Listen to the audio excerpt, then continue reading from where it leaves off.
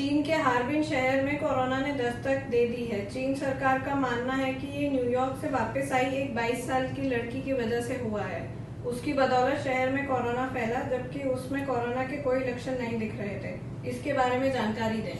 तो चीन का जो हार्बिन शहर है, वो उसकी जो पॉपुलेशन है, वो लफली एक करोड़ के आसपास है।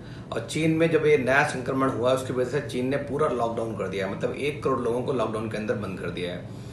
पहले भी चीन में हार्बिन जो शहर है, वो उसका जो बॉर्डर है, वो रसिया से लगा हुआ है। तो रसिया से बहुत सारी फ्लाइट्स आती थी। तो जितने बाहर से लोग आते थे, उनको एक महीने का क्वारंटाइन मतलब अट्ठाईस दिन का क्वारंटाइन ज़रूरी था। लेकिन अभी कुछ क्लस्टर्स देखे गए हैं, वो रसिया के बॉर्डर के आसपास ही हैं चीन में। और उसमें जो बात कर रहे हैं, वो उसमें जो एपी सेंटर है एपी सेंटर में एक मरीज़ है जिसने 78 केस फैलाए हैं, उसका नाम है चैन सी एच ई एन चैन नाम है, जो 87 सेवन ईयर्स का बुज़ुर्ग है।